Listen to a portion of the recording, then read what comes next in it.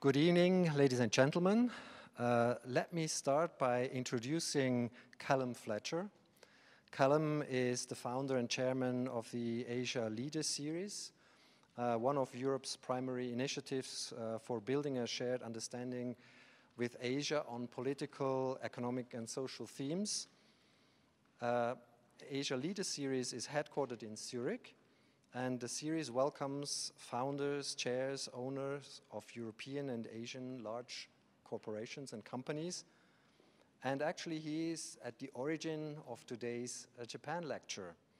And that's why I want to hear from him a short introduction on how he made Sachio Semmoto come to Zurich. Please, Callum.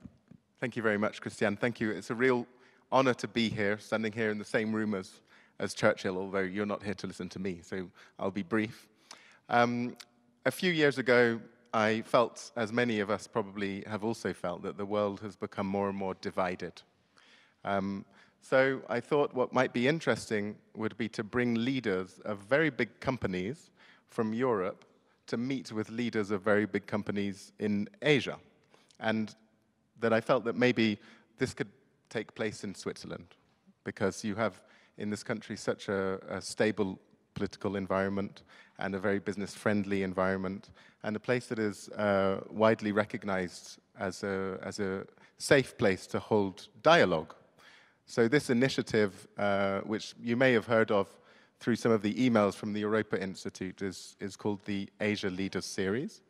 And uh, our meetings are very small, only 12 people. Um, it's only for the chairman of companies with over a billion dollars of revenue and that are operating in Europe and Asia. It's not political, so there's no uh, political influence, and there are no sponsors and there's no media. That way we can have real dialogue. And uh, so I ventured out to Japan and I met with uh, Dr. Sachio Semmoto, who uh, kindly agreed to participate in our program, um, which we'd been holding every three months these meetings since 2016. Um, so the first time that uh, Semmoto-san came uh, to Switzerland was in 2018, and he, uh, we had our meeting, and then he gave a lecture at the Baur au Lac uh, to a group of business leaders. And so the relationship has uh, emerged on since then. Our initiative has also evolved, and uh, we're just delighted to be able to bring leaders such as Semmoto-san to Switzerland and to conduct this uh, important dialogue at a time in which uh, I, and I think all the sort of partners uh, involved in this initiative feel it is so important to hold uh, impartial dialogue between, between people who have power. So uh, that is the story, but I want to thank you very much, Christian, for this uh, welcoming of Dr. Semmoto, who I know feels wonderfully privileged to be invited here to speak in this uh, most prestigious auditorium. So thank you. Thank you very much. And uh, here we are assembled uh, to uh, have the third edition of the Japan Lecture Series at the University of Zurich. The lecture hall we are in has a history for innovative ideas. On 19 September 1946, Winston Churchill held a famous speech, uh, Let Europe Arise here at this very spot. In this speech, he pleaded for a United States of Europe, and as you all know, it took roughly 10 years until the European Economic Community was created by the Treaty of Rome in 1957. Today, I'm honored to introduce one of the great Japanese business leaders who shaped the telecommunications sector in Japan over the last 50 years. Dr. Sachio Semmoto was born 1942 in Nara, in the ancient, ancient capital of Japan. He is deeply rooted in, in the Kyoto area, where he graduated from Kyoto University's Faculty of Engineering in 1966. Later, he went to Florida to achieve a master's degree and a PhD in electrical engineering from University of Florida. Internationally minded, and locally rooted. These two characteristics represent Sachio's uh, personality perfectly. In preparing for this lecture, he told me that contrary to common belief, Kyoto is not only a touristical hotspot, but that the Tokyo companies are a major driving force for innovation and Japan's economic revival. Sachio Semmoto's appetite for innovation and entrepreneurial ventures is almost unlimited. His career started at Nippon Telegraph and Telephone, NTT, where he helped develop the first optical fiber system in Japan. After NTT, he co founded DDI Corporation, now known as KDDI Corporation, in 1984, the first purely private telephone company. Kazuo Inamori, another business leader from Kyoto who founded Kyocera, was an important mentor and influence on him. Sachio Semmoto served on the board of several high technology companies outside Japan, and he was a trustee of the Tokyo Foundation and co founded the Japan Academy, uh, Academic Society for Ventures and Entrepreneurs. He serves currently as uh, chair and CEO of e-access and e-mobile, known as Y-Mobile, which he founded. He's also st a strong support supporter of universities donating to his alma maters in Japan and the United States. Sachio Semmoto served as a professor at Keio University uh, Graduate School and held several visiting professorships. Now let me say a few words about innovation and the importance of basic research as well as applied research at universities for business development. Switzerland and Japan are among the world leaders in innovation according to the WIPO's uh, 2022 Global Innovation Index. Switzerland ranks first and Japan 13th. When the quality of innovation is taken into consideration, both countries are among the top three and universities are the main contributors for this quality. Switzerland and Japan share also many fundamental characteristics and are ideal partners for research and innovation. I think one can understand the reasons why the internationalization strategy of the University of Zurich puts a focus on Japan. Over the last eight years, we established a strategic partnership with Kyoto University from which uh, Semmoto graduated. This last March, we held our third symposium in Kyoto with over 30 researchers from Zurich, working with Japanese colleagues on stem cell research, artificial intellig uh, intelligence, plant biology, and computer science. The cooperation pays off in more impact and visibility on an international scale. Other cooperation partners in Japan include Tokyo Medical and Dental, um, University, National Institute of Informatics, to name just the most important. At the end, let me mention the very recent visit of Masaomi Koyama, the director of the International Affairs Office of the Japanese Ministry of Economic, Trade and Industry. Uh, METI is reaching out to selected foreign universities to join forces in innovation to tackle the five mega challenges until 2050.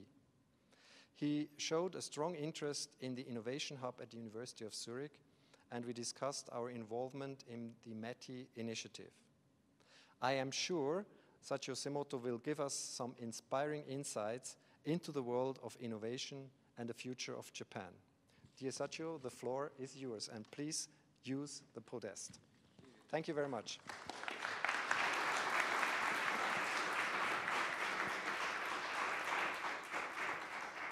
Mm.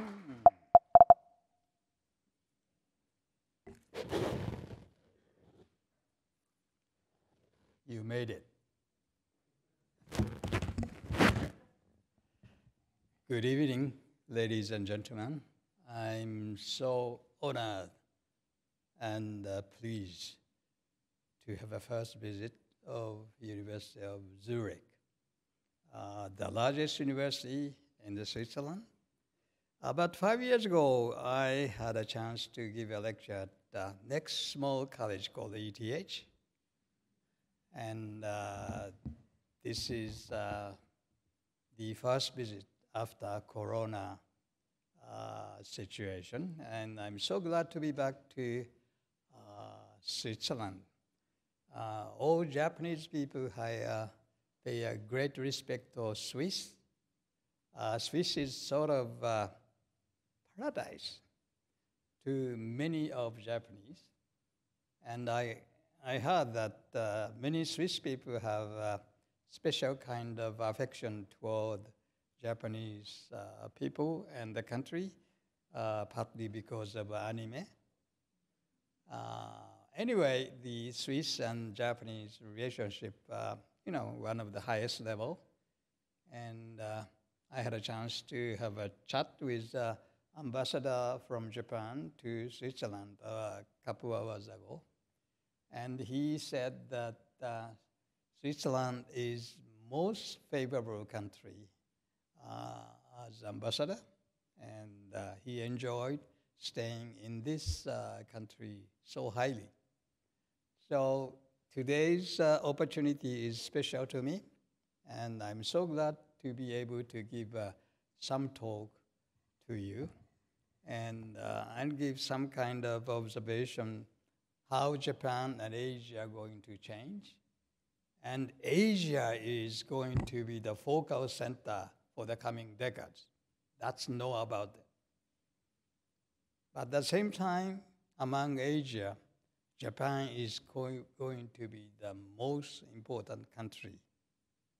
Uh, I give some kind of remarks on this.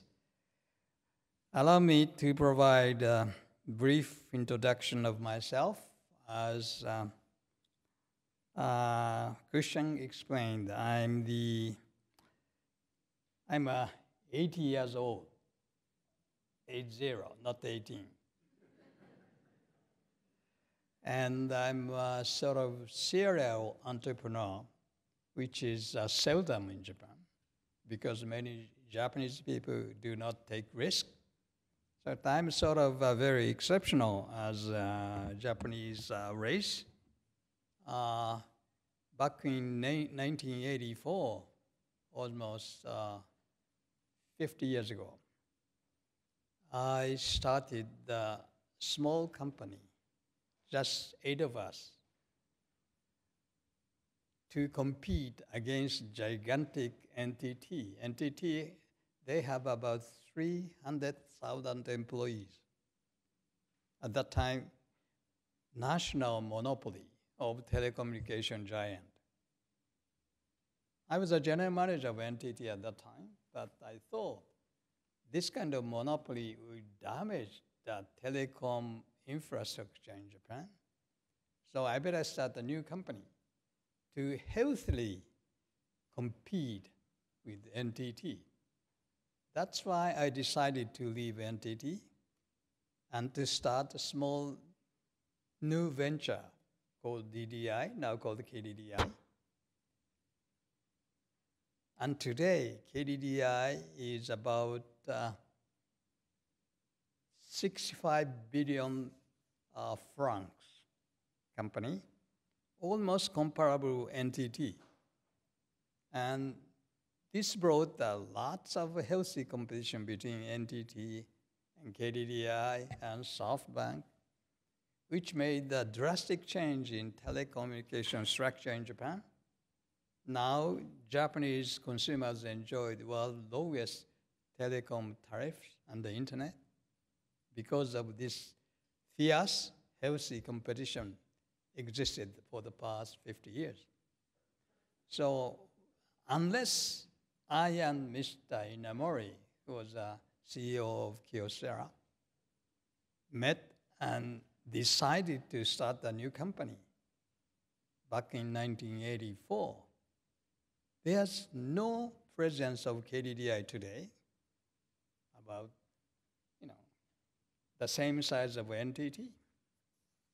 So the very important thing for you to uh, leaders in this room to start a new venture, to create a new kind of scheme. The most important thing is you have to think. Without thinking, nothing happened. First, you have to think. Think is most important thing. If Inamori-san and I didn't meet, or even if we meet, if we never think to start a new company. Today's KDDI would have never existed. So the first important thing is you have to think. Think is a basic factor to create a new value. So I started this uh, DDI and uh, uh, tried to grow this company to a $65 billion company. But at the same time, I have to touch upon some uh, general trend of uh, Japan for the past uh, decade. Uh, according to the IMD World Competitive Ranking, Japan held the top position until 1992. However, due to the collapse of the real estate bubble in Japan, Japan slipped to second place uh, 1993 and continued to rapidly decline in the rank, reaching as low as 34th last year, 2022. These past 30 years have been characterized by stagnation and often referred to as the lost 30 years of Japan.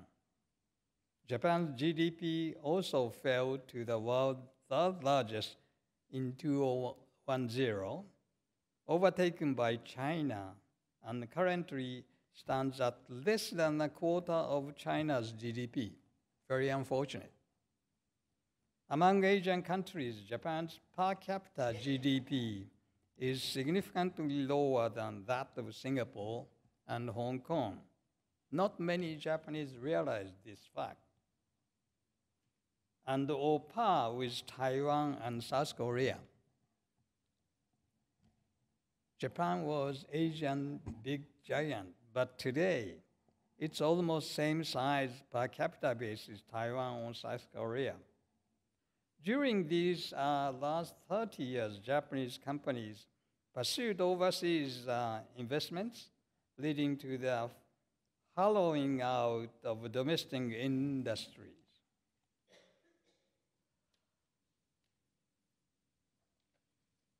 Deflation persisted, and wages and prices remained uh, stagnant. In recent years, combined with easy money, monetary policy, the yen has dropped rapidly, positioning Japan as a country with low labor costs and low prices.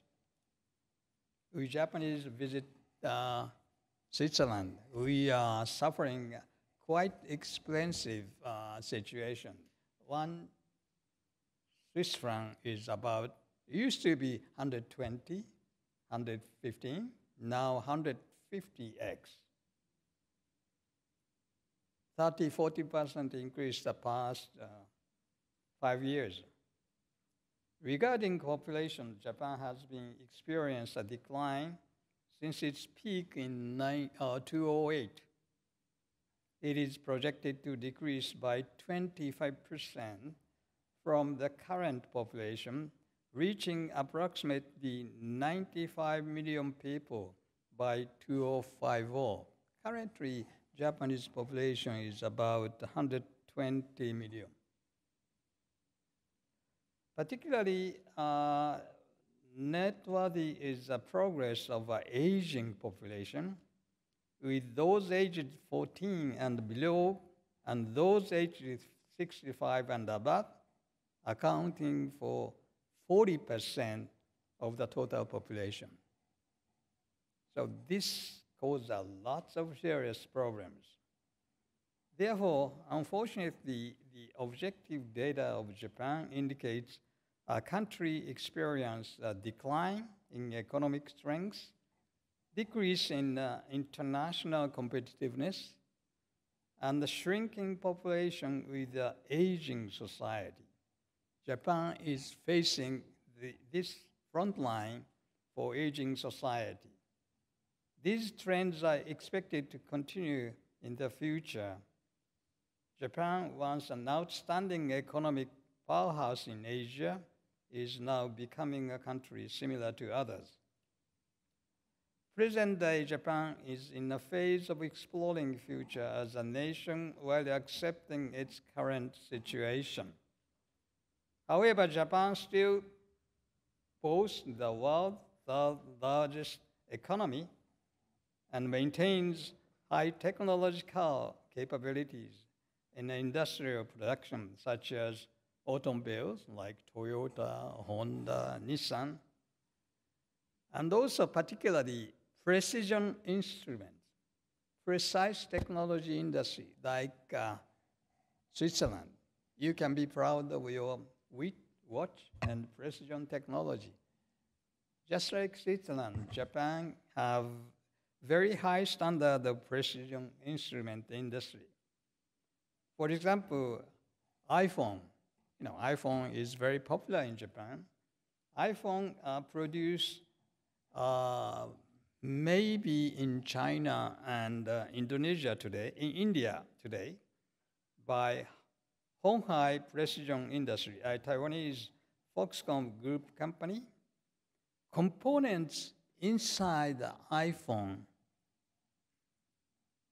such as cameras, displays, ceramic condensers, and vibration sensors, are adopted from Japanese companies like Murata,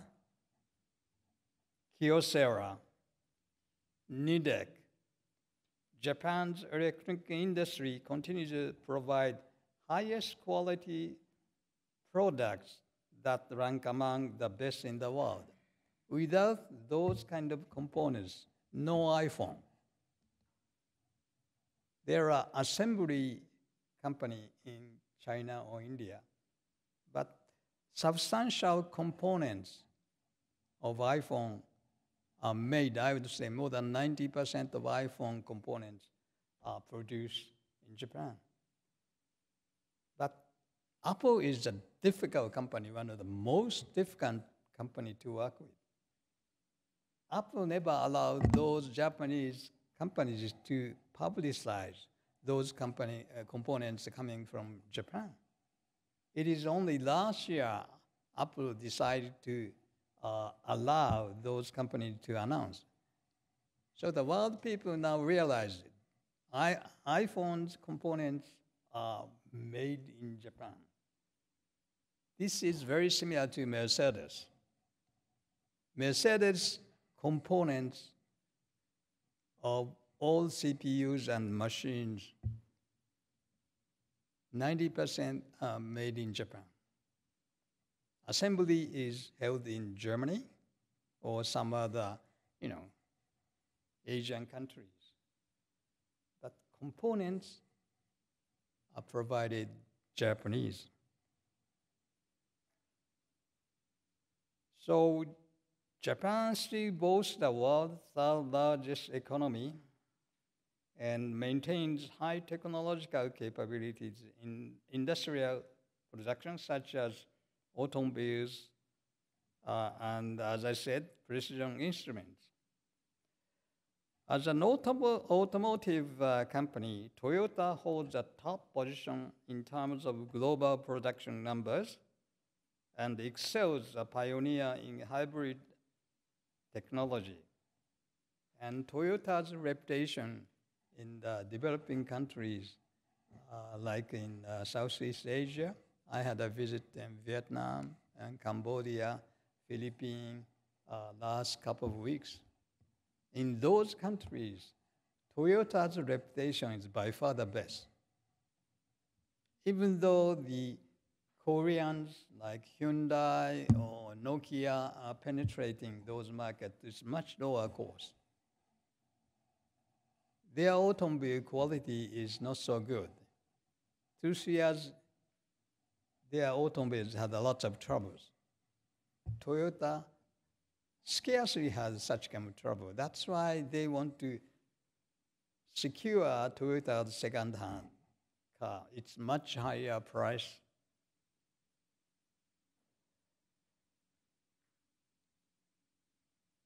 The Toyota is not just concentrate on EV, they have a very strong in the pioneer of hybrid technology.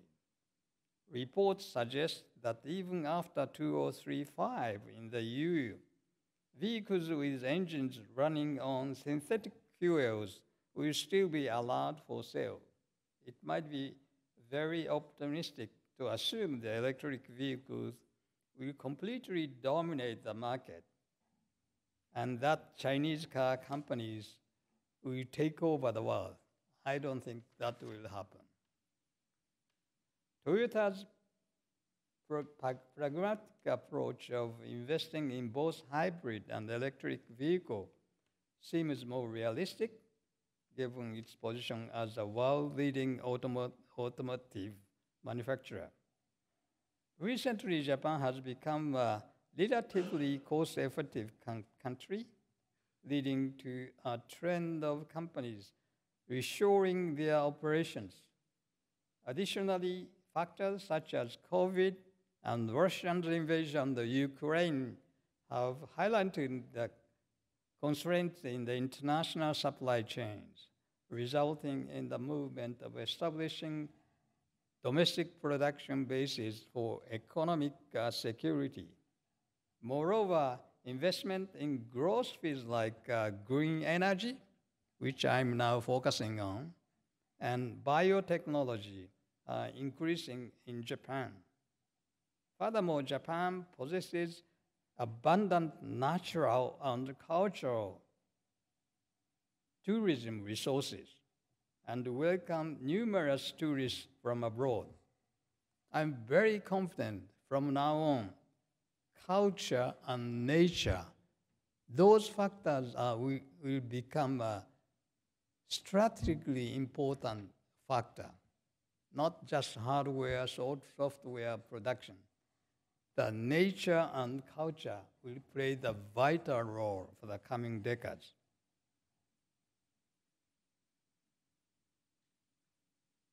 I understand many Swiss want to visit the uh, Japan, especially younger generation want to make a trip to Japan. That is uh, very, very welcome. And also many Japanese want to visit Switzerland.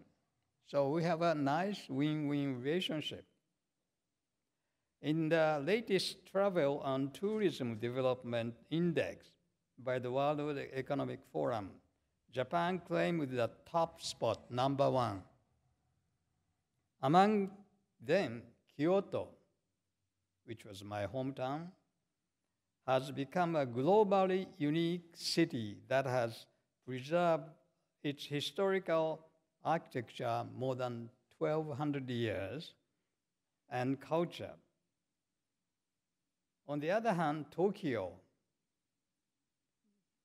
where I live right now, the capital is a modern metropolis uh, that is extremely safe.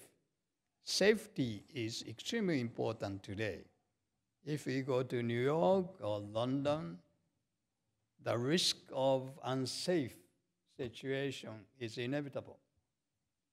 You have to pay a lot of attention not to be face uh, uh, uh, risky issues like gun shooting or smugglers. But in Japan, you can walk, even the young ladies can walk 24 hours downtown Tokyo. The safety means a lot. Safety is extremely important feature for big city. And also the Tokyo offers a delightful cuisine. Uh, you must understand uh, uh, Tokyo has the more number of Michelin restaurants than in Paris. So you could enjoy uh, lots of uh, first class cuisine in Tokyo. In the ranking of the world cities to visit by the prestigious, prestigious magazine Conde Nast Traveler, Tokyo was chosen as number one in the world today. Up until last uh, two years ago, London or Paris was the number one. Now, the past two years, Tokyo is world number one spot in the world. In this way, Japan still possesses many things to be proud of and has great potential. Recognizing the investor Warren Buffett, you might know this, this old man expressed an interview in two months ago, April, of actually increased his ownership stake in Japanese trading companies. The Japanese trading companies stock increased about 60% since then. The foundation of such recognition lies in the national character and the social infrastructure that have been cultivated over a long history. Japanese people are generally diligent, like Swiss, cooperative, humble, and sincere. Public services and local infrastructure are well established. You can rely on those kind of features. This creating a safe and secure society. Even in uh, Southeast Asia, which I respect, uh, uh, but in those countries, uh, this kind of social infrastructure is very poor. You cannot drink uh, water in those countries today. I'm very happy to be back in Switzerland. I can drink uh, water here. This is very rare. Not many can- country you cannot drink water. So Swiss, Switzerland, Japan, United States, there are very few, only a few countries you can drink a water. Public services and social infrastructure well established, creating a safe and secure society in Japan. The importance of Japan in the world remains significant. However, there is always a seen that confidence has been shaken due to the relative decline in recent years. There are challenges in demonstrating the proactive leadership required by the international community. Japan is exceptionally sophisticated and good country with safety, order, and rich culture. We strongly desire to be a country respected by the world and to have confidence in ourselves. Personally, as an individual from Japan, I have led an exceptional life. In Japan, it is common for people to enter a company, spend entire lives as members of that company. However, I chose a path of changing society by repeatedly starting my own ventures and businesses. I believe that such initiative and influence are needed in Japan now, and I intend to continue taking this proactive action. Furthermore, as a part of contribution in, to society, I have established two public interest corporations one is the Francis, my wife, Francis and Sachio Semmoto Foundation, which provides scholarship to the international Asian students who want to study in Japan, but not financial background. We cover those international students with the uh, tuition plus living expenses for covering four years. The other is the working together hand in hand with Children Foundation, which supports abused, heavily abused children in Japan.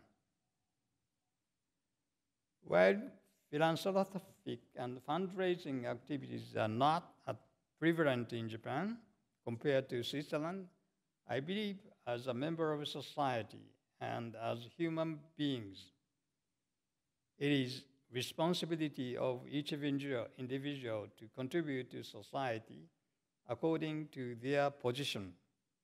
I hope that you become aware that there is a people in Far East country engaged in such initiatives.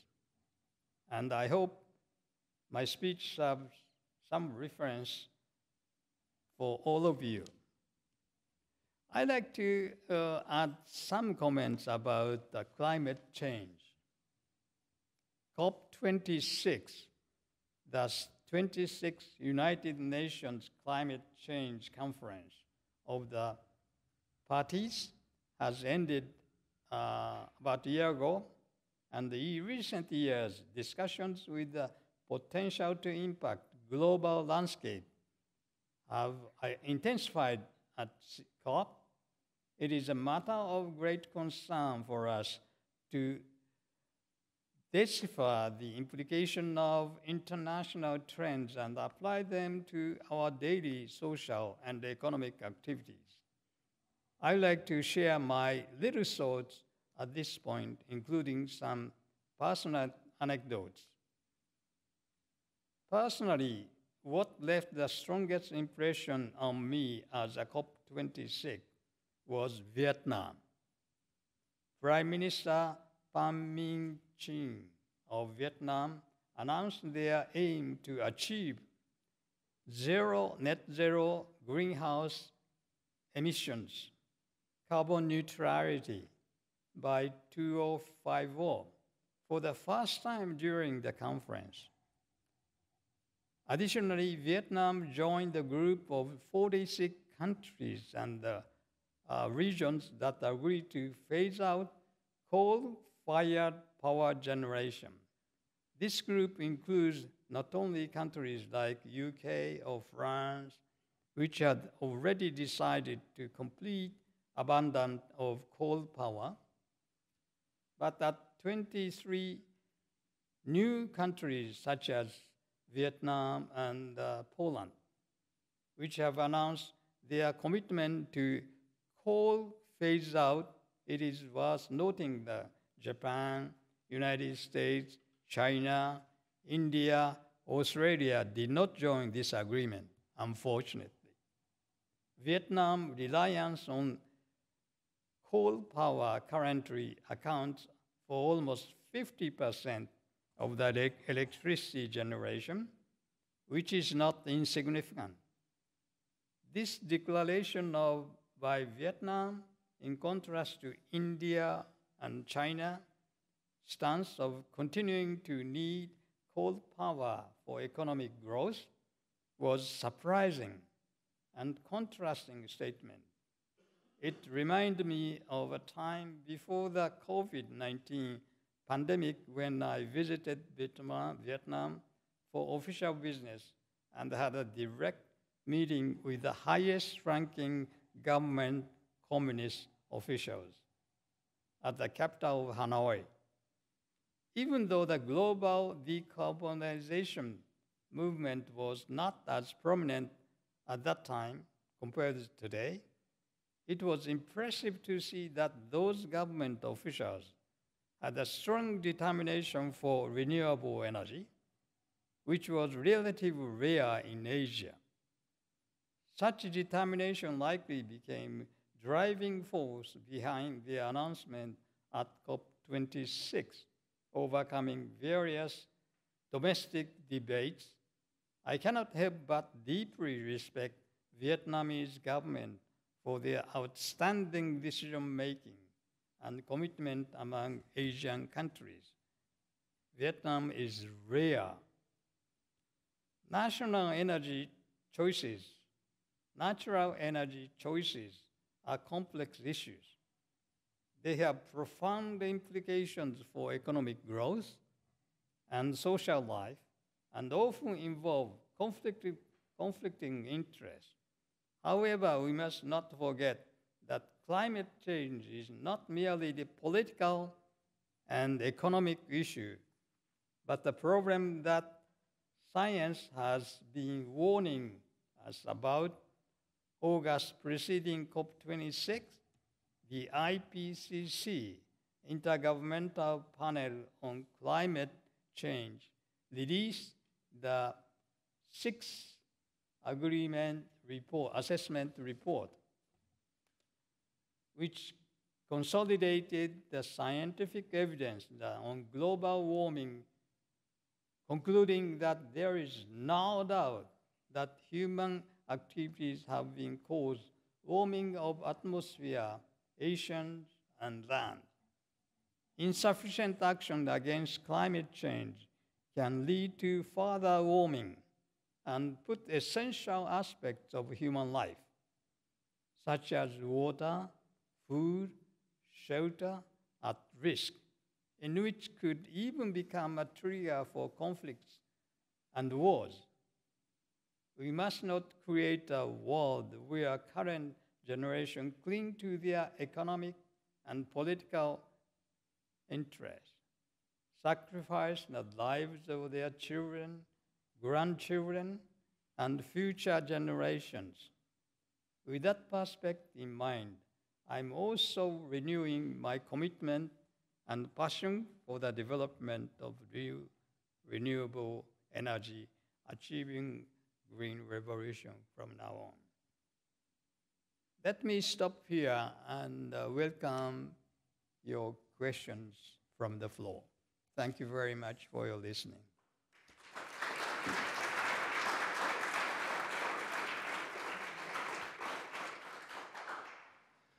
Thank you very much for this uh, very rich uh, speech.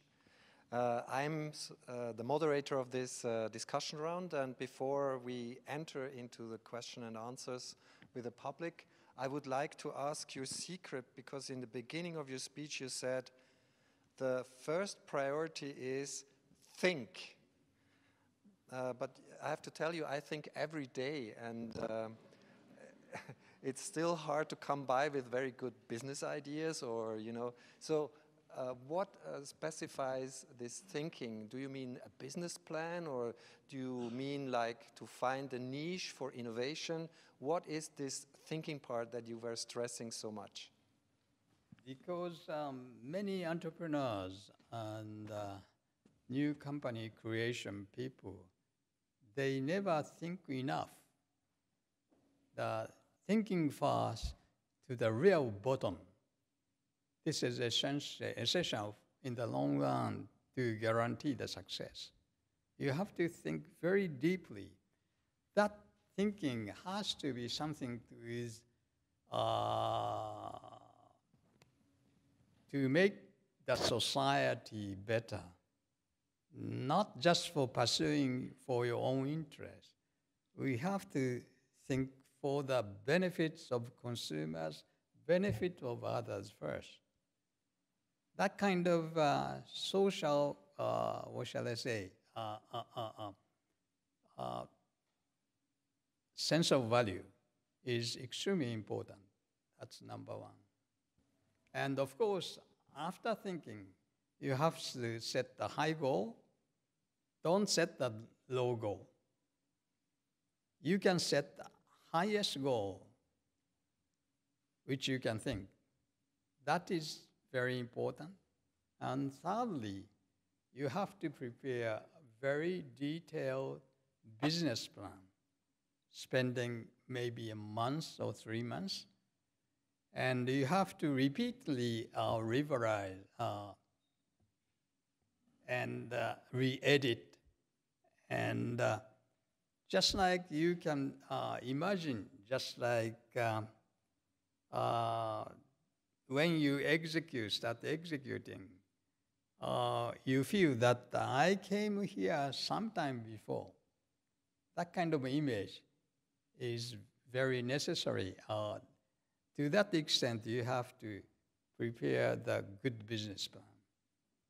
And next step is take action. Even if, if you think, even if you prepare the business plan, the next important thing is take action. Don't stand still. And if you take actions, there are many failures coming. I would say, in my case, 70% of my trial were failure. But failure is not very bad thing always failure is the only thing that they can give lessons. if you are happily make a success, success is very high risk. If you are successful, you become arrogant, you become less humble, which gives, uh, what shall I say, which gives a bad kind of uh, uh, career in your life. Uh, humbleness is crucial factor for things make it successful. Let's put this way. Good, thank you very much. I think you have a book in planning where you describe this in more detail. thank you. we have mic microphones in the room, but uh, let me continue by asking. So, of course, I know that you uh, handed in a business plan of 700 pages when you were looking for uh, for credits at the at the banks. But um, uh, let me come back to something you said, uh, and I also read about it. So you have to think, you have to rethink, you have to yes. Uh, write down big business plans, and then you should jump, you said in one of your uh, texts.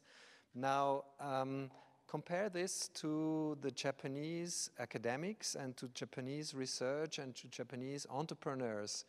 I don't see a lot of jumping recently. For example, when we are working together with Japanese academics, they have a lower rate of going abroad.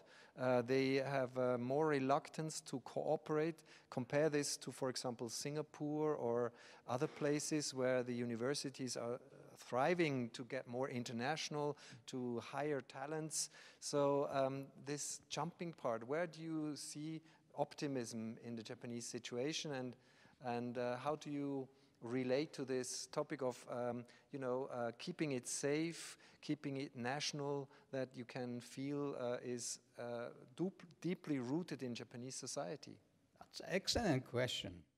I think uh, we have to learn from you and many Europeans. What I recommend to young guys, young generation students, or young entrepreneurs the best thing is you go around. You better go out of your country to make a trip worldwide. For example, I'm 80 years old. Last week I was in the Silicon Valley, United States. And before last week I was in Tokyo for a week. Before then I was in uh, Dubai. And before then I was in uh, Vietnam. Before then, I was in Philippines. Why I'm traveling?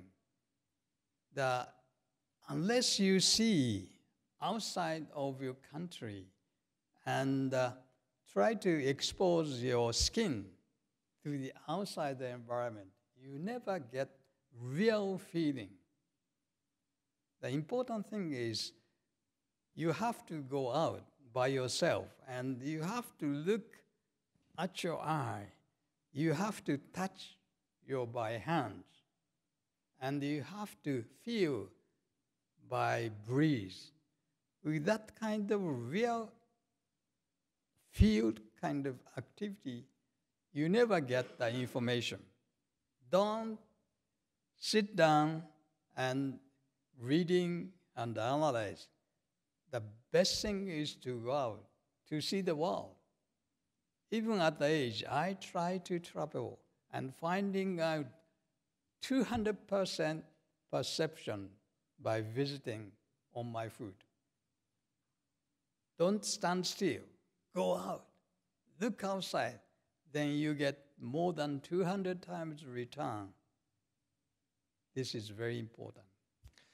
Thank you very much. Uh, I think uh, Kyoto University should hire you as a board member uh, because um, Japan is undergoing a reform of the universities and uh, um, the university leadership has to be transformed into something that has more exposure to businesses. It's uh, not very much liked by academia, but uh, uh, this spirit probably is something that has to be implanted into the academia in Japan. Are there any questions from the audience? Please, in the middle, we have microphones. Please state your name and ask your Uh, question. yeah, Please stand. speak slowly. I have Yeah, yeah, some sure. kind of uh, difficulty in my right ear, so please speak and Okay. pre- speak precisely. Yeah, uh, Vadashiva Jiangsan des. Uh, so my name is uh, uh, Shan Yama. Uh, so uh, I used to study at the University Zurich. I hope this is slow enough. You understand, yeah? So it's very slow.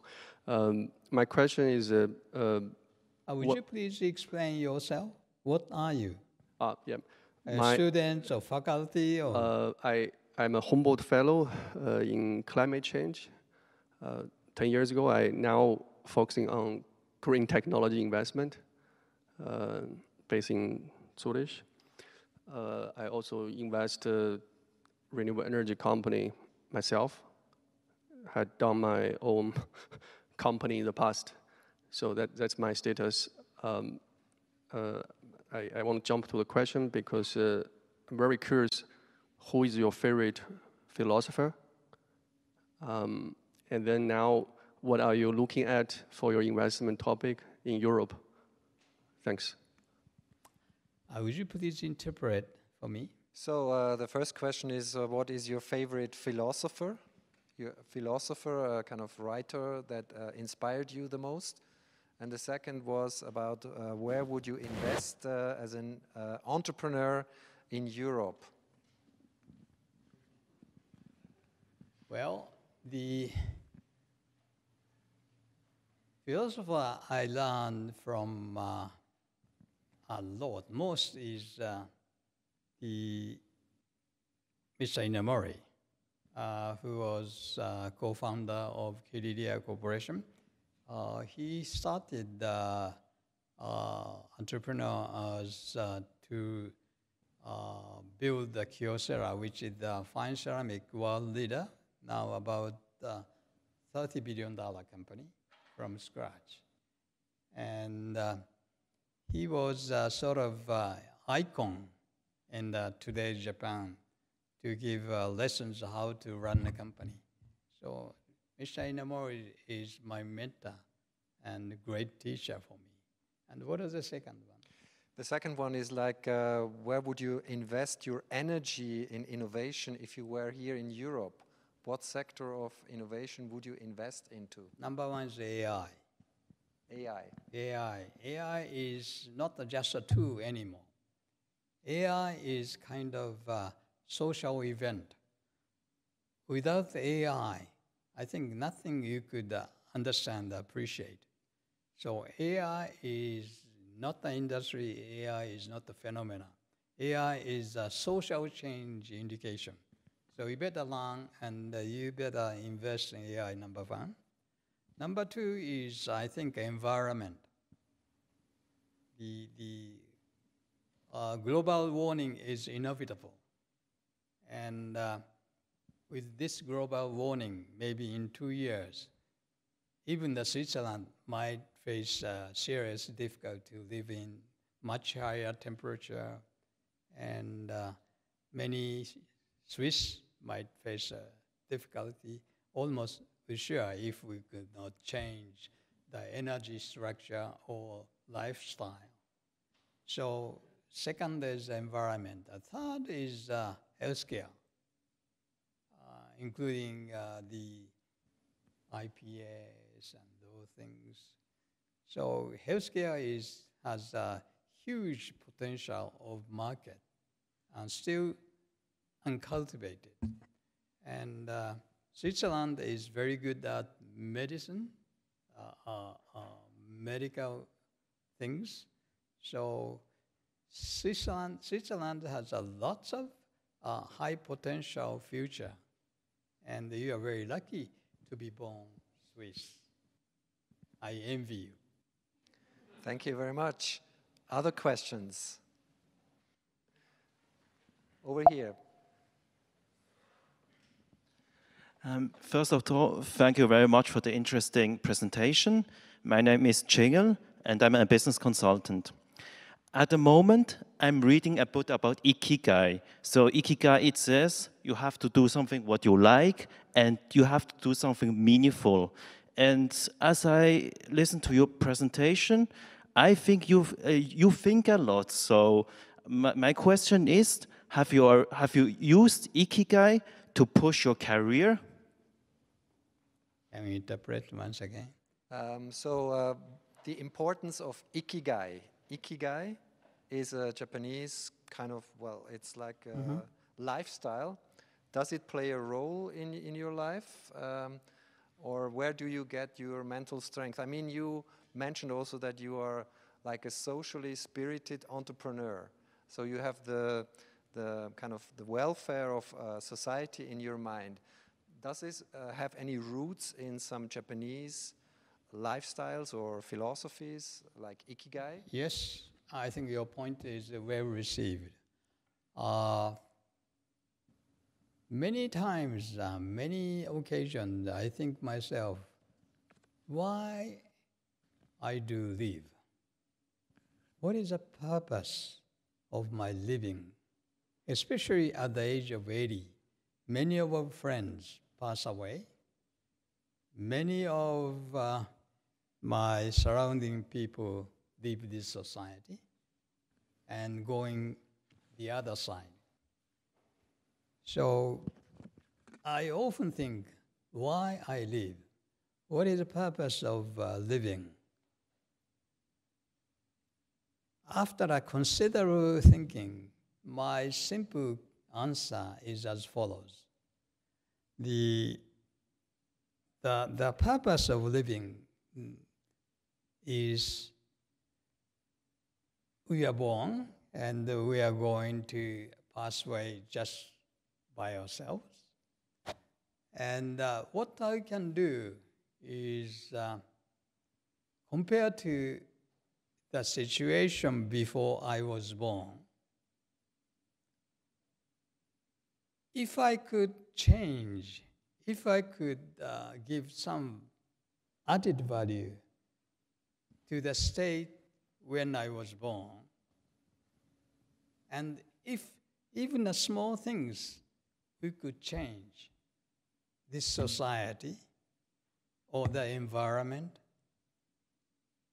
and uh, if the situation when I pass away is even a small portion becomes better than the situation when I was born. That is, I think, that is why I live. If I could leave a little bit improvement, something beneficial for the society, that is the reason why I live. I think that's the best we could do. That's, uh, I think, uh, the purpose of my living. If I, I like to leave something, even a little, to the betterment of the society. If I could leave small, better thing compared to the time when I was born, I think that's the purpose of my life. Well, thank you very much. That's a very uh, profound discussion.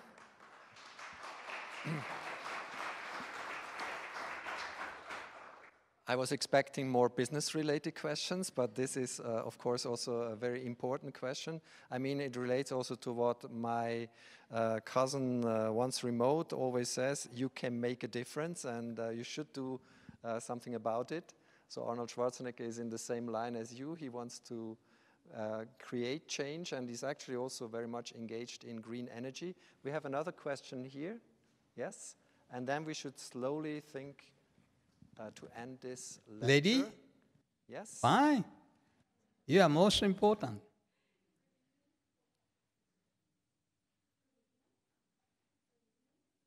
Uh, I think it's not working. I give you mine.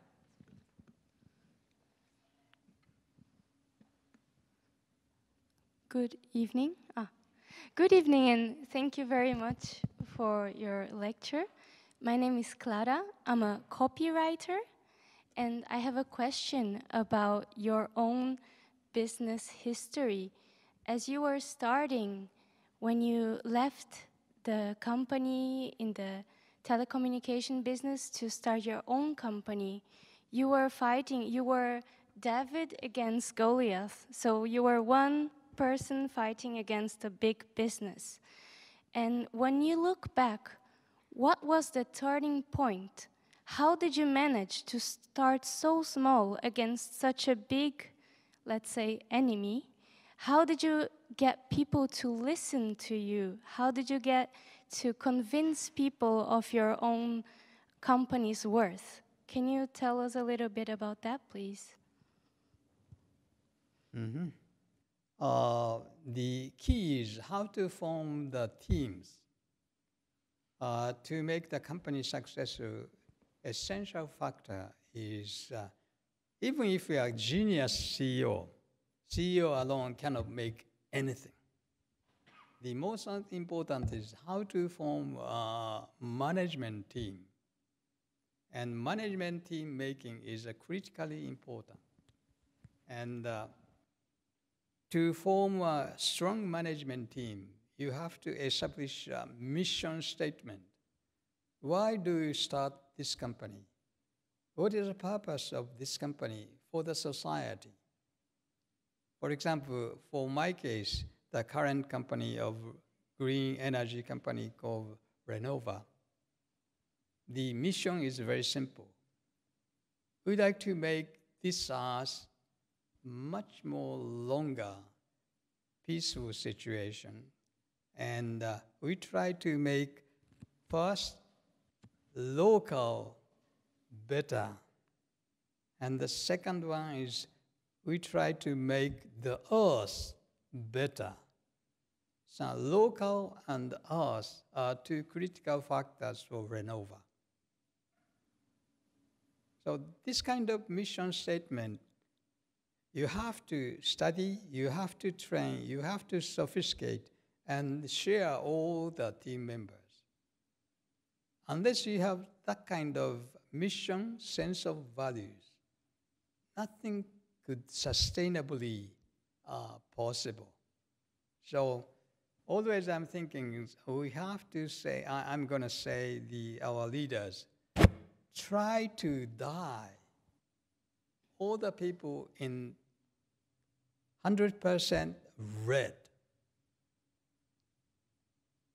You have to think the same high standard uh, uh, uh, mission statement to be shared by all your team.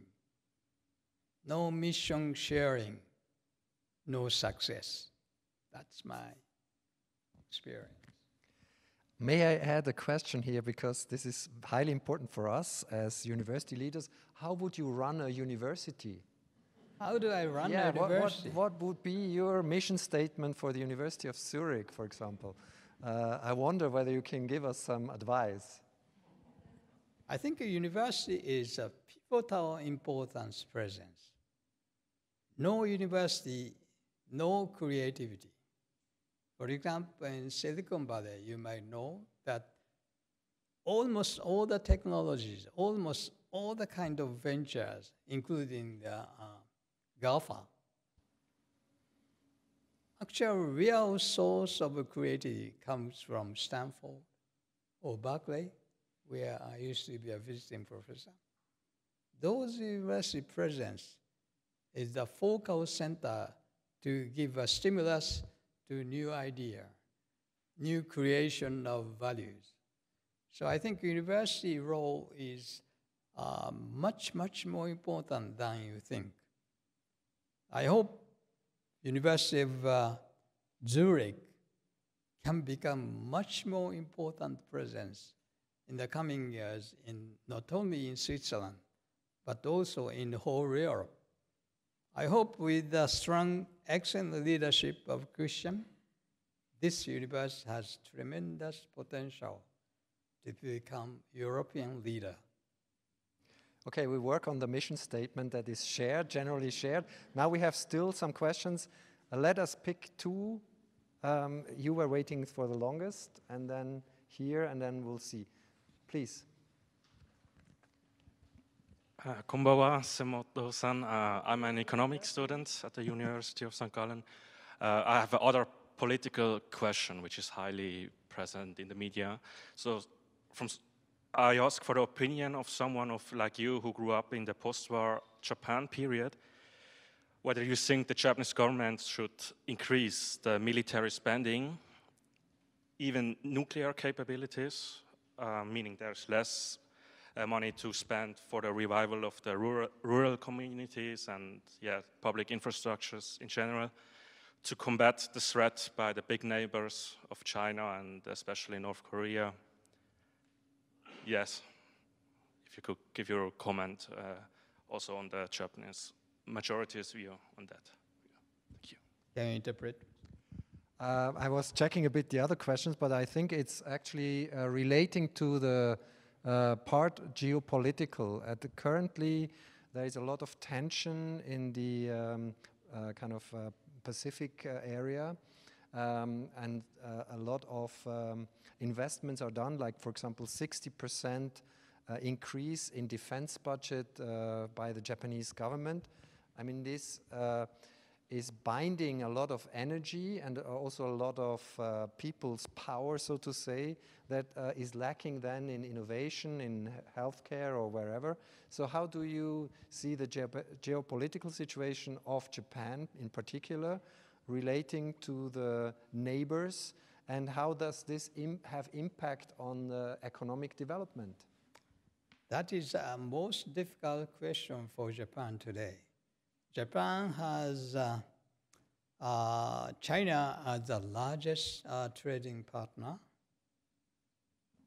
Chinese uh, partner is more important for us as far as the economic uh, uh, issues are related.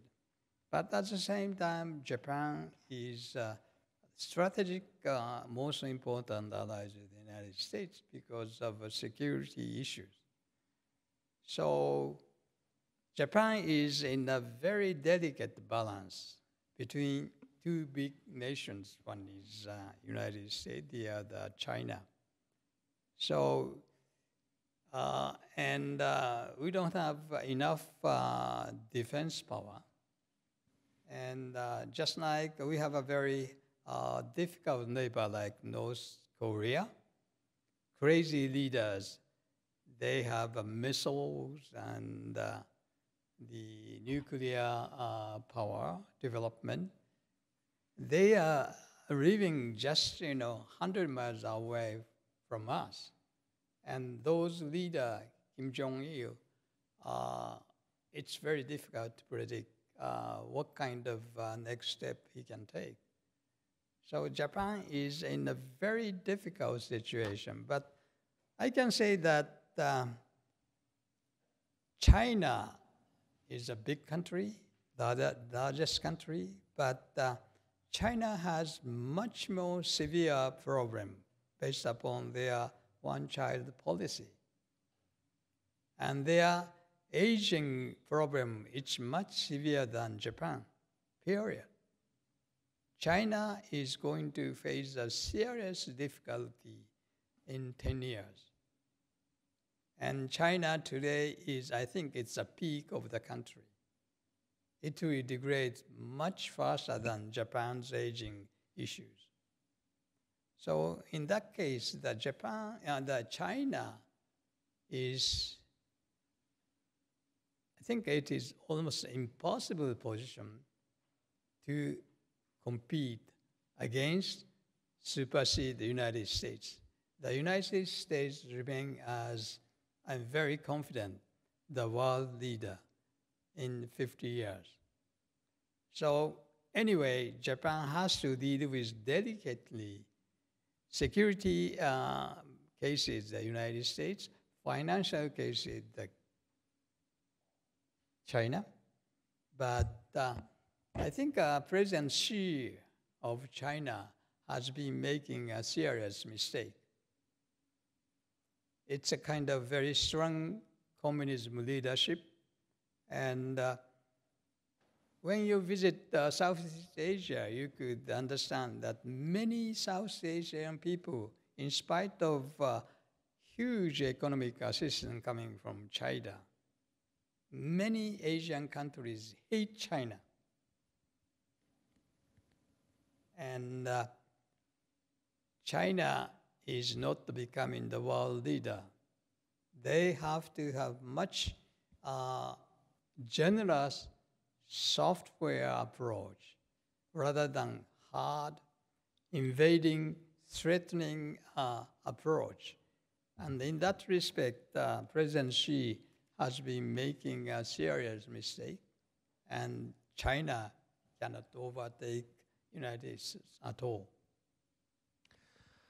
Let us take a final question because uh, we are short of time, and I, I give the floor to the gentleman in the back.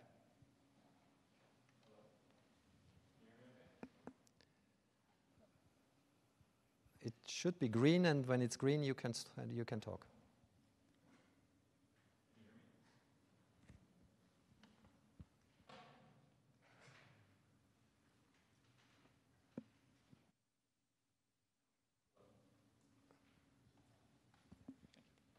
Hello. All right. Hi, my name is Shane. Um, I have been living in Japan for the last seven years, and I have organized some of the largest tech community uh, events in the international community.